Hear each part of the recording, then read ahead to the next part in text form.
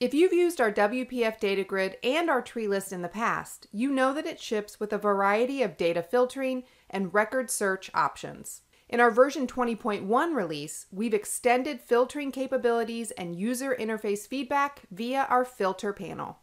In this tutorial, I'm going to review major grid and tree list filter options and then show you how we've improved the filter panel.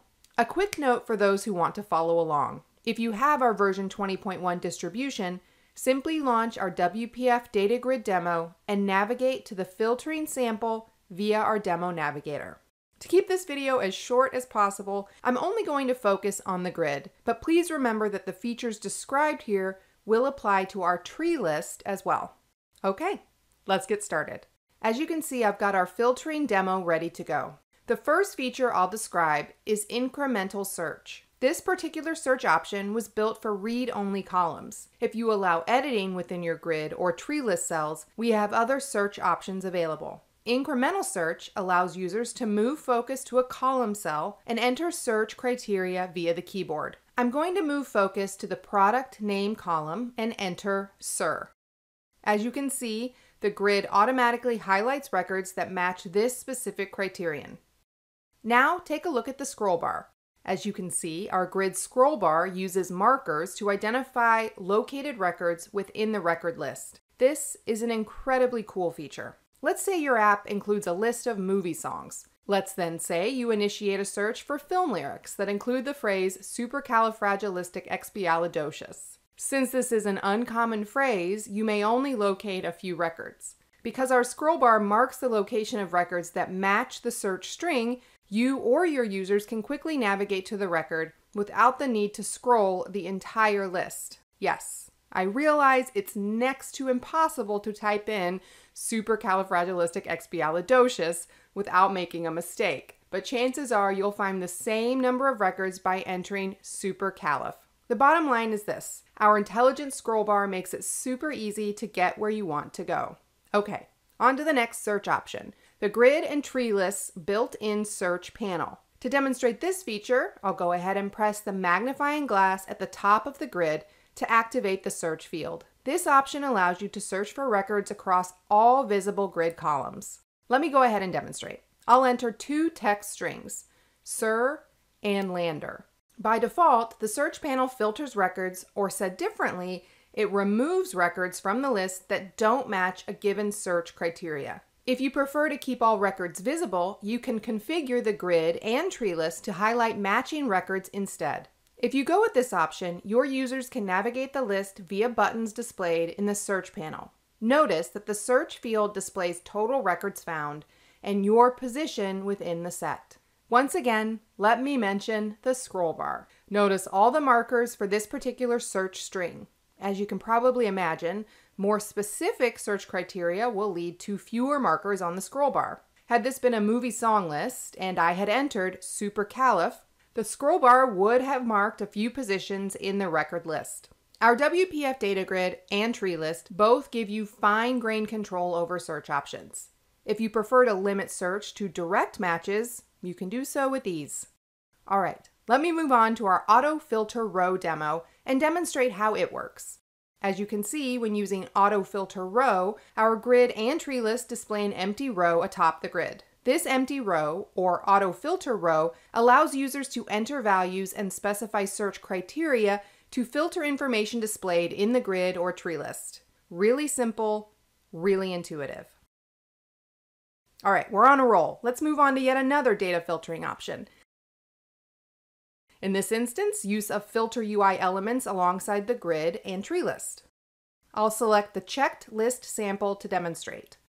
In this sample, we've connected our filter UI elements to the grid and are using the country column to filter data. Once connected, the filter UI element automatically displays data from the appropriate grid column. It even displays the total number of matching values. We give you a ton of different filter UI elements to choose from. Here's a sample that uses a checked tree list to organize records. Of course, these UI elements can be customized. You are always in total control. I hope you're still with me, as I've got a couple more filtering and search features to show you. Now I'm going to move to our most popular filtering option, Excel Style Filtering. This particular feature was patterned after Excel. Its capabilities mirror those of Excel, so I won't spend too much time on this demo. I can initiate Excel-style search operations by clicking the filter icon inside the desired column header. Once clicked, the grid and tree list will automatically display our filter drop-down window. Here you can specify both filter rules or enter filter values. Let me demonstrate on screen. A quick note about this filter dropdown. Filter values can be grouped as needed. We automatically group values for date columns, but you can manually apply grouping to any column.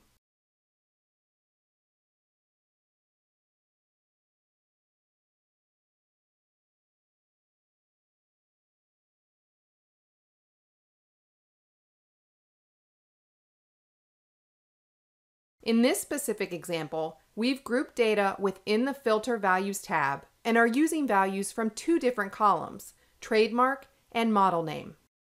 Okay, time to demonstrate new features we'll ship in version 20.1, specifically changes to our incredible filter panel. Regardless of the filter or search option used, be it Excel style filtering or auto filter row, a user's search criteria can be displayed in the filter panel located at the bottom of the grid or tree list. As you can see, the filter panel visually describes a user's current filter. In this instance, I've asked the grid to display all records with a model price between $25,000 and $80,000 and sales date between January 1st, 2020 and February 2nd, 2020, and trademark of BMW and the model name X3.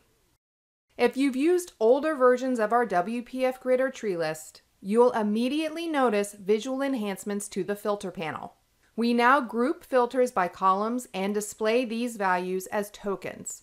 This allows you to remove unwanted column filters with ease. For instance, I can highlight the last two tokens in my filter and delete them from my criteria list. Of course, you can temporarily disable a filter by unchecking the checkbox that precedes the filter criteria list. If you'd like to remove the filter entirely, you can press the delete button at the rightmost edge of the filter panel. Should you wish, you can recall previously executed filters via our recently used filters button. As you can see, once I press this button, I'm presented with a list of recently used filters. I can select an item in the list to recall previous search criteria. Excellent. If you'd like to edit an existing filter or create more complex search criterion, you can simply press the Edit button to activate our filter editor. As you can see, the filter editor gives you total control over criteria construction, and it's simple enough for most users to master. I'll cover this particular UI element in greater detail in a future video. I hope you've enjoyed my dive into filtering with our WPF data grid and tree list. I think we've improved the filter panel quite a bit, and tokens should make criteria customization much easier for your users. And that's it for this video. If you like this video, please give us a thumbs up. If you have questions, please comment below. And remember to subscribe to this channel for more great DevExpress training videos. Thanks for watching, and thank you for choosing DevExpress.